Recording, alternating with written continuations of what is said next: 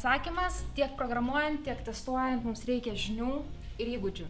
Kalbant apie programavimą, tai kas? Programavimo kalba, algoritmai, funkcijos. Jeigu te, kalbam apie testavimą, tai nuskambės šiek tiek keistai, tai yra žaidimas vaidmenimis.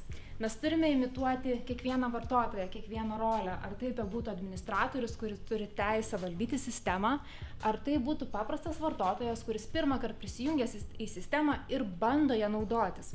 Ar tai galų gale būtų inžinierius, kuris tuoj sukurs kažką nepakartojamo su mūsų uh, kurta programinė įranga.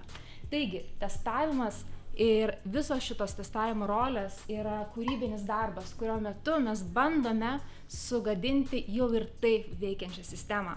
Taigi mums svarbu sužinoti, ar mūsų programinė įranga veikia taip, kaip ji turėtų veikti, ar elgesi taip, kaip ir turėtų elgtis.